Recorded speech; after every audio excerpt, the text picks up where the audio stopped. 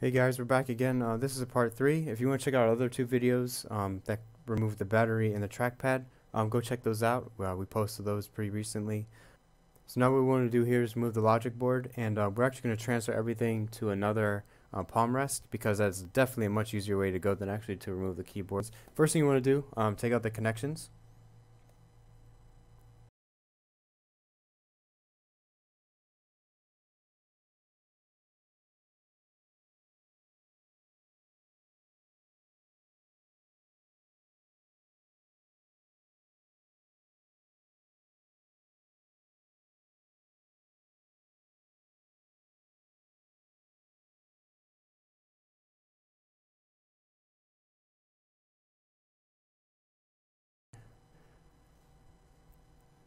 Alright, and now we're actually going to unscrew the little bridge um, connection right here. We want to screw this because um, we, it will make it easier to get the bar lifted here.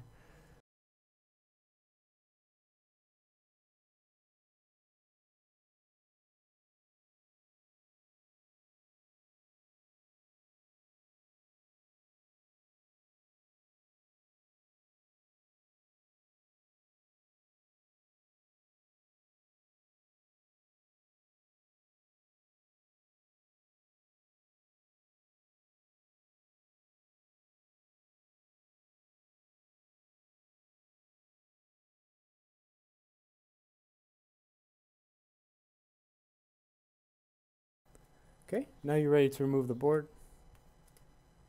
And there it goes. So here is the board. We do need the speakers to come out now.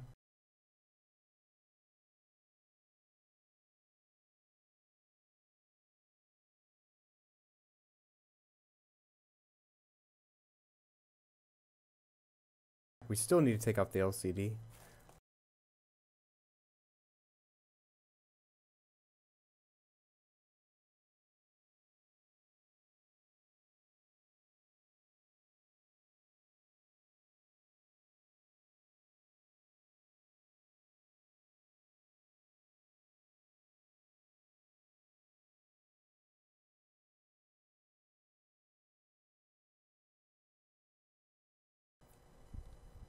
Now, there's a little trick I like to do. You've probably seen in the last video if you watched them, um, especially the MacBooks or anything.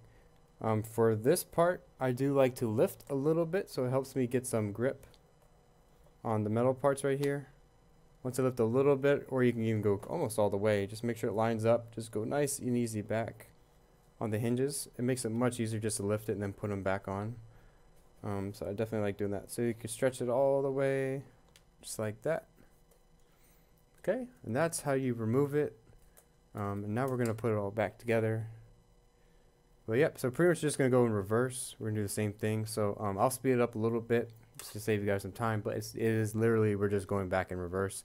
Uh, you want to make sure you keep this. This is a very important connection here for the next one. And of course, all the other connections as well. You don't want to bury anything underneath in the top one. Don't forget about that one.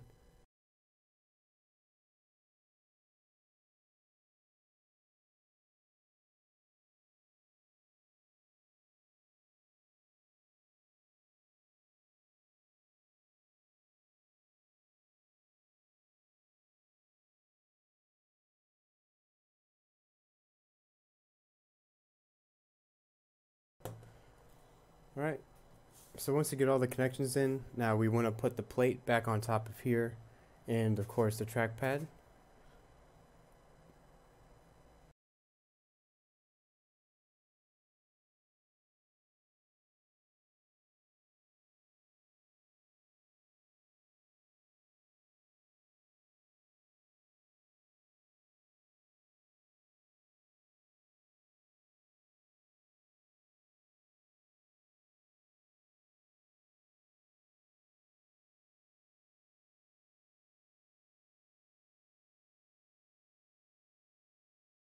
Okay, so the last thing you want to do is put the battery in, but I would definitely recommend putting just some strips here, maybe at least one or two for each row.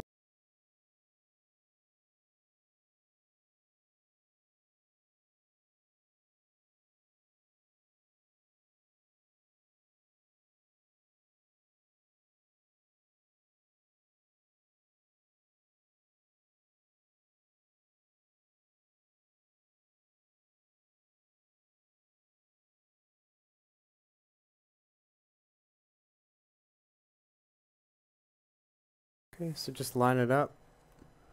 And once it looks good, um, I normally like to do, I like to plug it in first. That would help it line it up.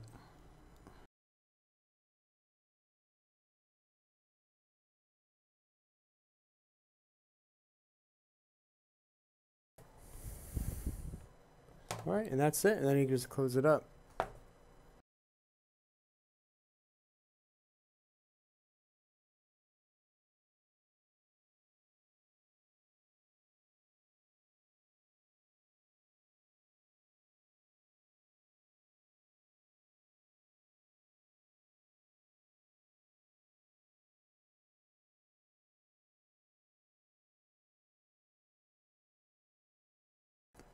Okay guys, so that's how you put everything back together.